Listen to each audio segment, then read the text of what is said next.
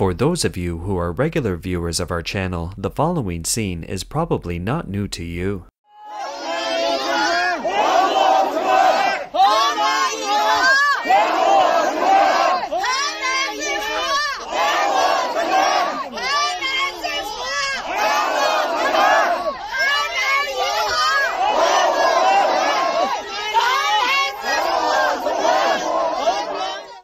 Western economists have repeatedly foretold for nearly two decades that a financial crisis would strike at the drop of a hat in China.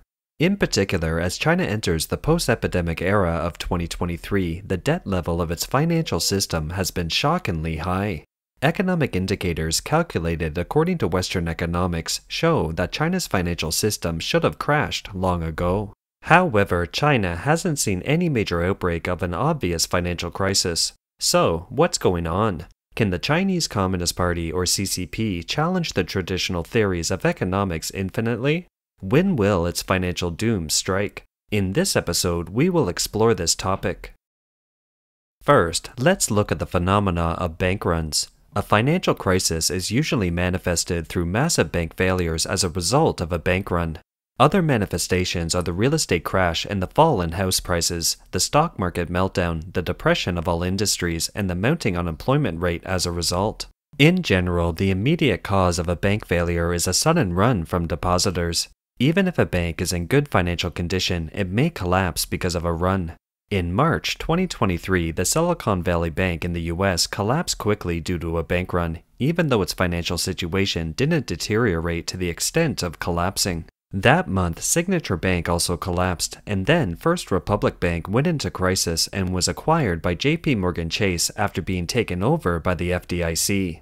The U.S. Treasury Department was forced to quickly state that all depositors' funds should be fully repaid in order to prevent small and medium sized banks from collapsing on a large scale, as in 1929 and 1933. In the past three years in China, the quality of bank assets has deteriorated. The situation is far worse than that of Silicon Valley Bank. There have been some individual bank failures in China, but so far there has been no chain of bank failures. This is because, despite China's accession to the World Trade Organization in 2001, decades of economic reforms, and slow but steady integration into the global financial system, China remains anything but a full fledged market economy. On the one hand, most of the funds of the banks have gone to inefficient state owned enterprises or have been spent heavily on projects in which the local governments have invested blindly, thus leading to many bad debts.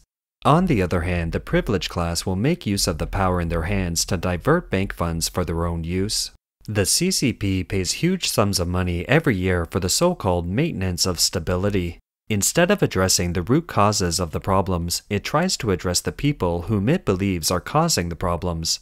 As a result, they have put a lot of effort into preventing a run on depositors, and has amassed more than enough measures in this regard, such as mobilizing the police or mafia forces to assault and threaten the populace. On May 14, 2023, more than 1,300 police officers were deployed in advance in Zhengzhou City, Henan Province, to detain people at various strategic locations.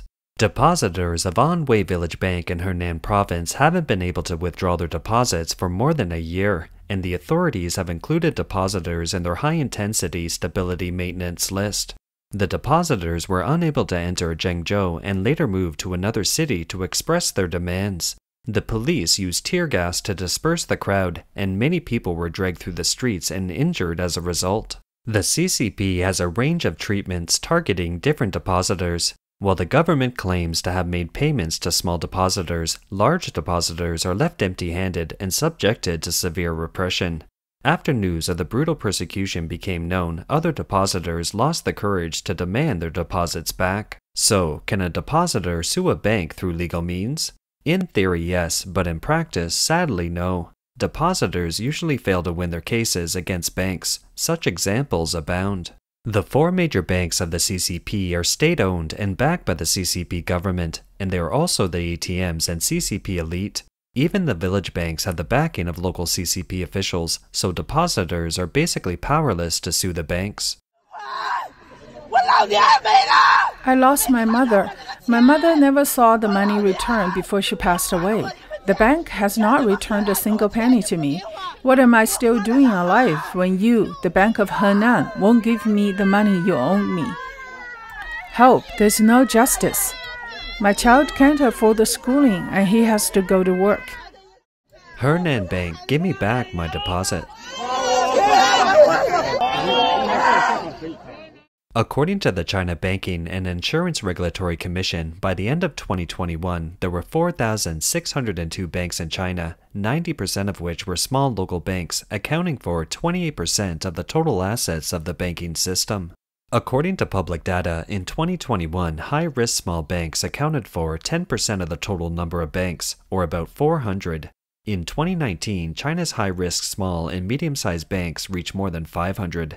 That is to say, at least over a thousand small and medium sized banks were in a high risk situation. The CCP tried to diffuse the risk by merging and restructuring small local banks. It's very difficult. Most of the debtors of small local banks are local government financing platforms as well as private enterprises. China's economy took a big slide during the three year epidemic.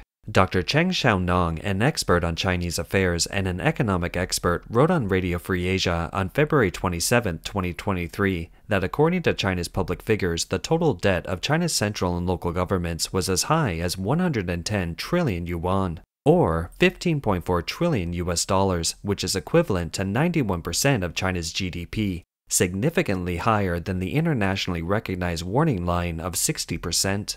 Private enterprises in China are in even worse shape, and small local banks are in a dangerous position. We are afraid that depositors of small and medium sized banks are caught in a difficult predicament, so banks have made it easy to deposit money and difficult to withdraw it for the average person. Just yesterday, I still had funds in my bank card, but suddenly I couldn't make a normal payment. I can only deposit money, not withdraw cash.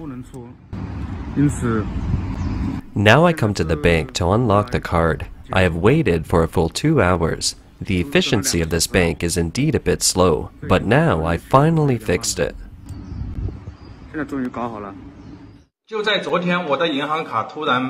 Yesterday, my bank card suddenly stopped working. I couldn't use it. I was shopping and tried to swipe the card, but it wouldn't work. The machine indicated, your bank card has abnormalities. I immediately deposit some money into the card. It can accept deposits. Ah, very strange. Then I wanted to transfer money out, but it wouldn't allow me. Then it indicates your card has an abnormality and is suspended. It is simply not working now. The bank does not notify us at all. I was scared when I suddenly encountered this situation. I thought something terrible had happened because I had funds in the card. Today, I rushed to ICBC and waited in line. I was surprised to see all the people inside doing the same thing. I am not the only one experiencing this problem. Many are in this situation. Ah. The CCP would target specific depositors using the so-called stability maintenance operation. That is to say, depositors of a failing bank would be down on their luck, the second and most important element is the transfer of the crisis to the Chinese public at large. The Chinese government has virtually unlimited power to direct resources as it sees fit, allowing it to distribute the pain to avert the crisis. The CCP has been passing on the debt to every Chinese person to get rid of bad debts for banks. How does the government carry out this task? Let's use a real life example from 1999 to 2000 to illustrate. In that period, the four leading banks, Bank of China, Industrial Commercial Bank of China, ICBC, Agricultural Bank of China, and Construction Bank of China had accumulated a huge amount of non-performing loans, or NPLs, and were on the verge of collapse. The party leader at the time was Jiang Zemin. His government came up with the stunt of setting up four major asset management companies, AMCs, or debt clearing firms. The Ministry of Finance allocated RMB 10 billion yuan as registered capital to each of the four major companies. The central bank provided a refinancing of RMB 570 billion yuan, and the four companies then issued RMB 820 billion yuan of bonds to the respective banks. In this way, the four major companies got a total of more than RMB 1.4 trillion yuan, or US 196 billion. These funds were used to buy out the US 196 billion of bad debts. The Ministry of Finance and the Central Bank of China are funded through taxation and printing money. Frankly, this move means the CCP stepped up its efforts in scrounging money from the people. After the big four companies received the bad debts from the banks, which were basically uncollectible, the bad debts were then transferred to the Ministry of Finance and became government liabilities, which were ultimately paid for by the entire population. After the transfer of US 196 billion of bad debts, the NPL volume of the four state-owned banks was still high. At the end of 2002, the NPL ratio of the banks averaged 26.12%. Among them, NPL ratio of ICBC was 26.01%, Agricultural Bank 36.65%, Bank of China 25.56%, and China Construction Bank 15.28%. At the time, the shortfall in the capital was huge. At the time, China's state finances were already struggling, and it was no longer possible to rely on financial disbursements to absorb banks' bad debts.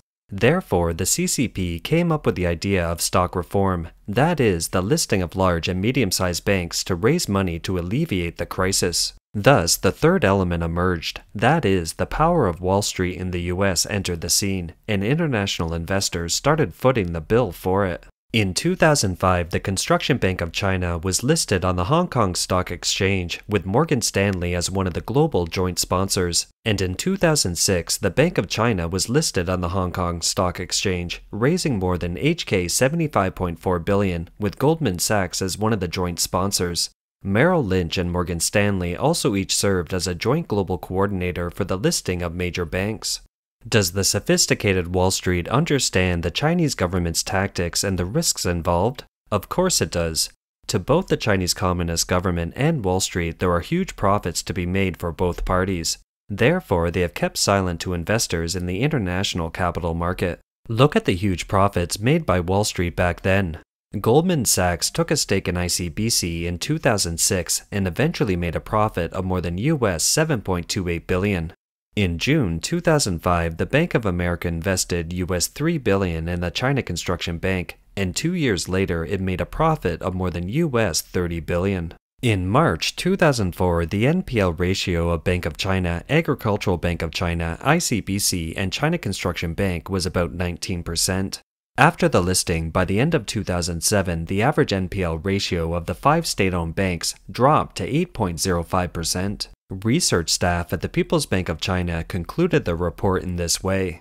The NPL ratio of China's state owned commercial banks fell relatively sharply from 29.18% in 2000 to 8.2% at the end of March 2007.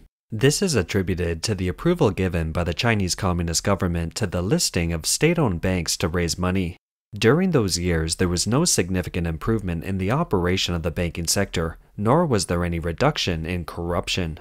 It can be said that China's banks transferred their risks to shareholders at home and abroad through their listing.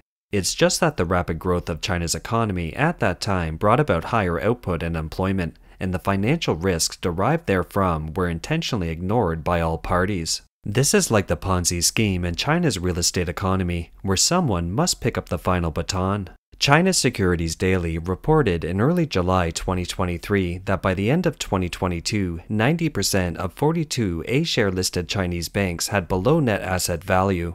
This means that stocks had their closing price fall below their net asset value amid the current sliding stock market.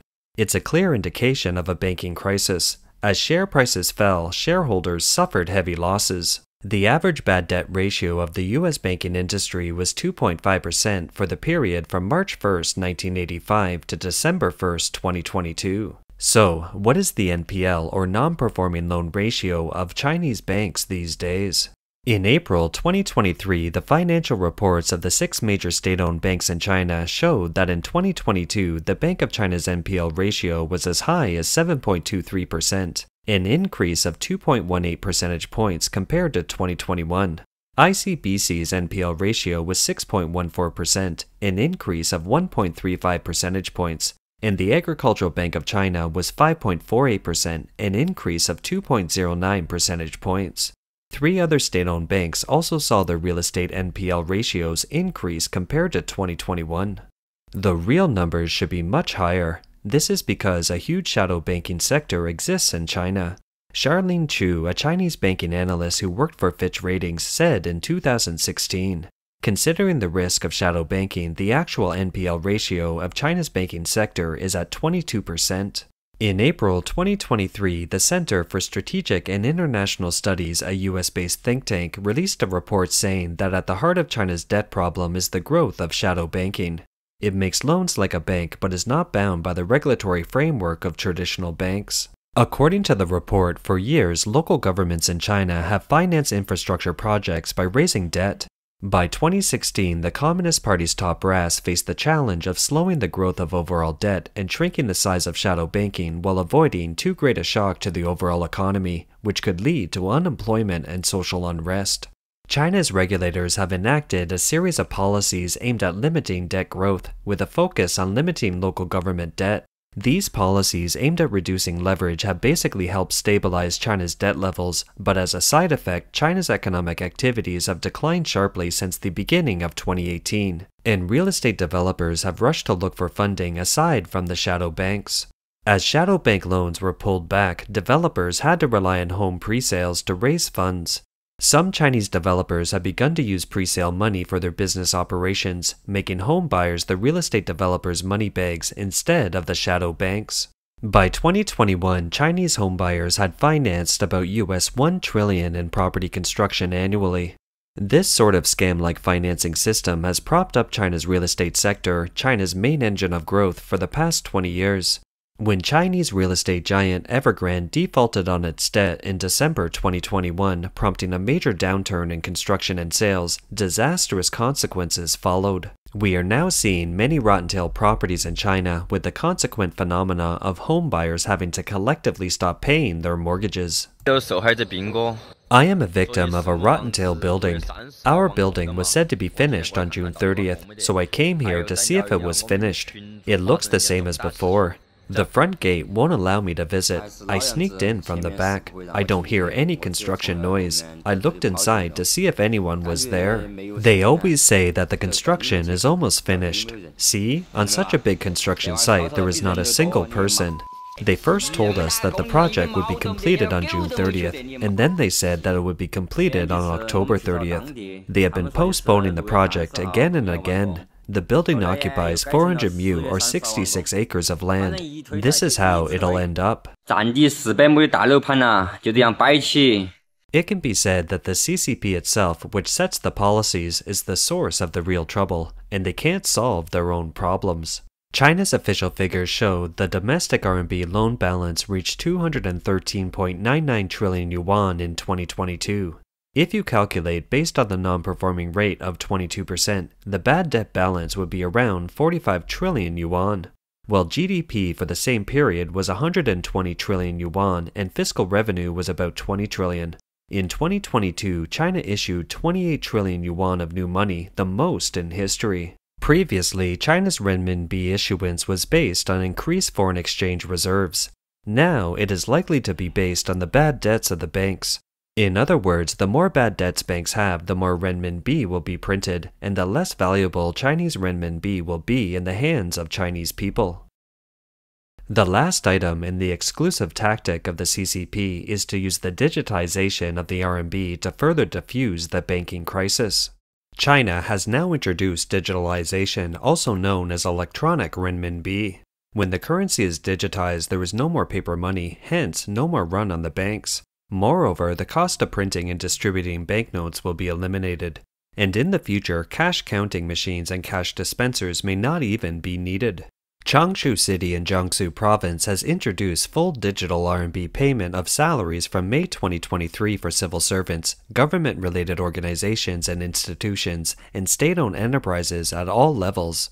An increasing number of provincial and municipal civil servant salaries have begun to be paid in digital currency. In fact, electronic currency existing before has been closely monitored, including every transaction and business dealing in both public and private sectors. Banks in China keep track of every penny spent by an individual or group on their accounts. The implication is that people's money can be restricted, frozen, or even erased at the drop of a hat at any time. Having said all that, the Chinese government can only temporarily mitigate the crisis through the various measures mentioned. The inevitable consequence is that every day the bad debts of the banks increase, the wealth of the Chinese people will decrease accordingly. The CCP has repeatedly proved the financial doom predictions wrong by capitalizing on the peculiarities of the red system. However, this time it should be extremely difficult to divert it again. Because the fundamental problems with China's banking sector remain unresolved, the Chinese regime now faces the most daunting set of economic challenges since it began opening up to the outside world in the late 1970s. They include high debt levels, sluggish real estate, prolonged economic slowdown, rising unemployment, an aging and shrinking population, and deterioration in its trade and diplomatic relations with the US. China's banking crisis will probably break out in full force around the time the CCP regime collapses.